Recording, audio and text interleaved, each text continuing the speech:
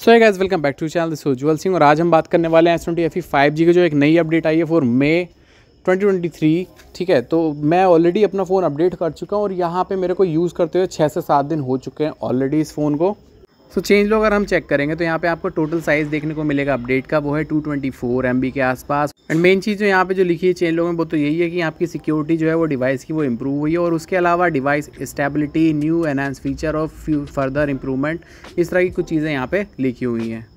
सब about section में अगर हम चेक करेंगे तो यहाँ पे हमारा बाकी सब चीज़ें सेम है। सिर्फ़ आपका जो सिक्योरिटी पैच का जो वर्जन है, वो आपका चेंज हो चुका है, जो कि हो चुका है वन मे 2023 का। सो ये छः सात दिन जो भी यूज़ किया मैंने फ़ोन में मुझे थोड़े से इंप्रूवमेंट कुछ दिखाई दिए जिसके बारे में मैं आपको आगे बताने वाला हूँ। लेकिन यहाँ पे आपको कोई नया फीचर फ़िलहाल कोई देखने को नहीं मिलता है इस अपडेट में। सो फ़र्स्ट इम्प्रूवमेंट जो मेरे को नोटिस हुआ, वो है रिलेटेड टू बैटरी तो यहाँ पे बैटरी लाइफ तो आपको ड्रास्टिकली कुछ चेंज देखने को नहीं मिलेगी।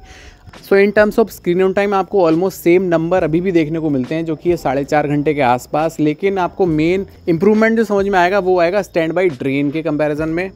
सो ओवर द नाइट यहाँ पे आपको स्टैंड बाई ड्रेन पहले जो छः से सात परसेंट तक देखने को मिल जाता था जो कि अब जो है तीन से चार परसेंट के आसपास ही देखने को मिल रहा है। एंड ये ड्रेन आपको अगर डुअल सिम यूज़ करते हो तब आपको देखने को मिलता है। अगर आप सिंगल सिम यूज़ करते हो तो मे बी आपको इससे भी कम देखने को मिल जाए। सो सेकेंड इंप्रूवमेंट जो देखने को मिला वो मिला हीटिंग में। सो so, फ़ोन जो है अननेसेसरी हीट नहीं कर रहा है अभी फ़िलहाल। एंड वहीं पे अगर परफॉर्मेंस की बात करोगे तो सी पी थ्रॉटलिंग टेस्ट मैंने किया तो वहाँ पे 84 परसेंट तक जो है आपका फ़ोन थ्रॉटल हुआ आज के टाइम में। एंड वहीं पे गीक बेंच का स्कोर भी आप अपनी स्क्रीन पर देख सकते हो। तो देखा जाए तो डे टू डे लाइफ में आपको कोई प्रॉब्लम देखने को नहीं मिलेगी, सारे टास्क आपके बड़े आसानी से हो जाएँगे आज के टाइम में भी। सो फ़िलहाल अगर बग की बात करेंगे तो यहाँ पे कोई ज़्यादा कुछ बड़ा कोई बग तो देखने को नहीं मिलता है फ़िलहाल, लेकिन मेरे को एक चीज़ ज़रूर नोटिस हुई कि अगर मैं फ़ोन चार्ज कर रहा हूँ with 25 five watt P charger तो यहाँ पे फ़ोन की चार्जिंग स्पीड में थोड़ा मेरे को लैग अब देखने को मिल रहा है। मतलब कि फ़ोन जो है थोड़ा लेट चार्ज हो रहा है।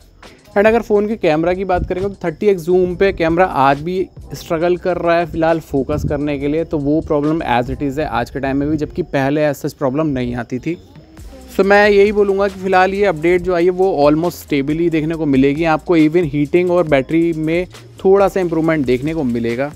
तो फ़िलहाल अगर आपको वीडियो पसंद आई तो लाइक और शेयर कर देना सब्सक्राइब कर लेना चैनल। आपसे नेक्स्ट वीडियो में मुलाकात करेंगे। Till then thank you so much जय हिंद जय भारत।